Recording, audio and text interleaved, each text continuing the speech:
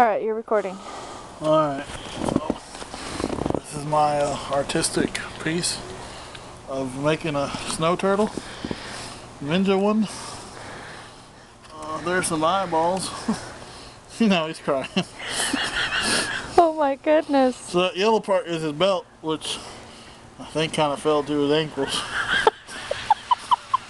and uh, those red things used to be his feet and arms and eyeballs, but well, he's he's been through a lot of battles. Uh, kind of ran out of green too. I knew there's not enough food dye in one of these to dye a whole snowman, but Right? No. Let's get an up close of the snowman. uh oh.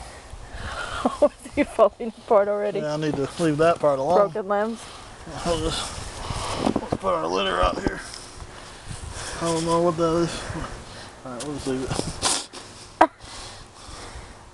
Anyway, he's colorful.